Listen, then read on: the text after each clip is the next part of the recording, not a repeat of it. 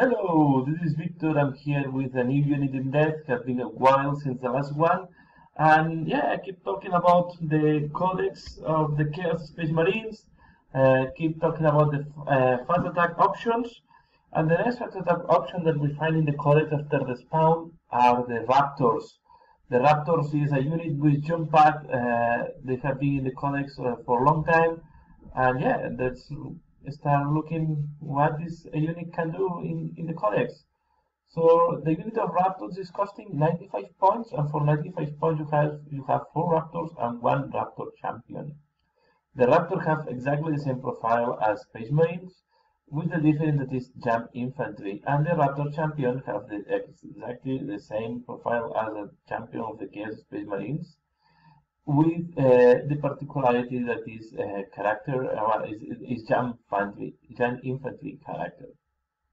So we have just uh, average space marine with more mobility. Uh, the warrior they are equipped with power armor, bolt pistol, close combat weapon, frag crack grenades, and jump pack. So this is not special compared to any Chaos Space Marines because at the end uh, the the Chaos Space Marines can change the bolter by bolt pistol, and they can also have these options. The champion, uh, special rules, the champion have uh, called this uh, champion um, of the Chaos special rule. Uh, this is the one that you have to accept uh, challenges, and if you win, you roll in the uh, special table. And then they cause fear. So they have the extra bonus that they can cause fear. Uh, fear is a rule that is mainly useless against any uh, against a lot of codexes, especially if you play against Space Marines, because if they have the rule and they shall know no fear, or if they have the rule fearless, fear is not impacting them. Uh, you can add up to 10 raptors uh, for 17 points for raptor. Uh, you, and up to two raptors can replace the bolt pistol by plasma pistol for 15 points, or can take one of the following. So can take into account that they keep the bolt pistol and the close combat weapon because it says uh, take one of the following. Don't say substitute any of the weapons. And they can take a flamer for 5 points, melta gun for 10 points, plasma gun for 15 points. The champion can take melee weapons and ranged weapons.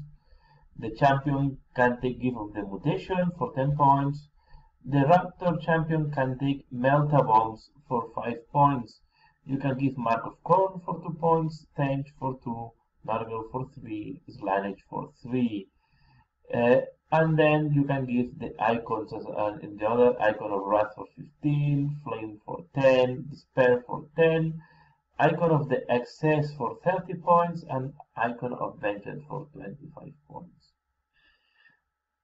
How I see this unit, and I think uh, how uh, I will I will use this unit on the battlefield. I will use this unit in patch of 5 with two special weapons and no more upgrades. Unless you're doing you're using uh, some fluffy army and you want to use one of the marks this will be uh, my way to use them. They are average space uh, chaos space marines, so they are not that they are not bad, but they are not good in close combat. So if they fight a specialist uh, enemy or an enemy that is specialized in close combat, they don't have enough punch.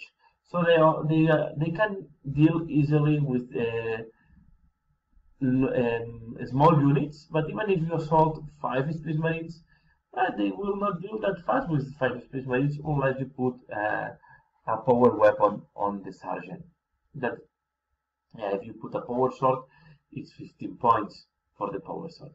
So I see this uh, unit as uh, a unit that takes opportunistic targets. What I mean by that, uh, you want to use the mobility. So the main advantage of this unit, the main asset of this unit is the mobility. And you can use the mobility to try to uh, hunt opportunistic targets. And for this reason, the option that I like is put two melta guns in that unit. So you have 95 points, two melta guns, 115 points, no more upgrades. You have a unit of five space marines that is pretty fast and they can hunt tanks Uh, the other option I see is also to put melta bombs on the sergeant, on the champion.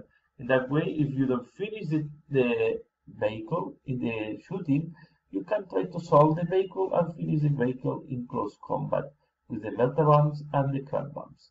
So this is the main way I see to use them. You also can try to use them to clean out uh, infantry, and in that case you can put two flamers in the unit. Uh, as they have good movement, they can move close to the enemy, use the two flamers, clean up the enemy, and then, yeah, uh, but they are not done so. When I say opportunistic targets, is because I see them working in the flanks, working in isolated parts of the of the battlefield where they will not receive a lot of shooting um, against them, where they are uh, safe from the most important shooting from the enemy. I think this unit is a flanker. It's a unit that you want to keep out of the main battle. You want to keep just flanking and try to take opportunistic targets there, or doing deep strike and because you want to use the shooting, you use the deep strike, and with the deep strike, you just use your shooting weapons. So I think I, this is, I think, the best way. You can uh, add a combi weapon on the sergeant or the champion. Sorry. So in that way, you will have you you can uh, combine uh, when you do deep strike, you can combine the the extra shooting of the of the sergeant. The only mark, uh, as usual, the only mark I see more useful uh, is the Nurgle, the mark of Nurgle, to give a little bit more of survivability. But to be fair, the fast attack maybe is the best uh, slot of the Chaos Space Marines. Because we have the Heldrakes, so you, we have to think that they are competing with Heldrakes, they are competing with Spawns, and they are competing with the Bikes. And this is the main reason why Raptors are not very popular on the Chaos list, because uh, bikes, uh, Heldrakes, and spawns normally have more utility than raptors and have more flexi and give more flexibility on the battlefield. Anyway, I don't think it's a bad unit, a little bit too expensive, uh, but it's a unit that don't expect them to be a charging unit, don't expect them to be a close combat beast. They are not made for that. They are made uh, to hold up, to take objective, easy objective, and they are made to use the speed to try to hunt uh, opportunistic targets. Try to uh, hunt targets that are not are uh, are not uh, yeah are uh, not well protected by the enemy. I will say. So yeah, and I will not use, of course, any of the icons, and unless I'm doing, unless you are playing, for example, a Saint army, then I will use the mark. But I will only use a mark if I'm playing a fluffy army. If you just want to be uh, efficient with a unit, the only mark that I really see useful is the mark of Nurgle. Uh, you will pay 15 points more. I think this makes the unit too expensive. So this unit I really wanted to keep cheap. Uh, 95 points plus 20 of the melta guns, maybe 10 more if you put the combi weapon or 5 more, I don't remember. But we go uh, to 115 to 120 points. Don't go further than that. Because they are easy to kill as Space Marines. Uh, they don't have uh, any excellent survivability, and I think this is the best way to use. So yeah, this is how I see this. The Raptors, uh, another unit review from the um, Codex of the Chaos Space Marines. Please let me know. Let me know if you use Raptors. Let me know if you play Chaos Space Marines and use Raptors. How you use them, and what is your favorite configuration. Uh, and for now, that's all.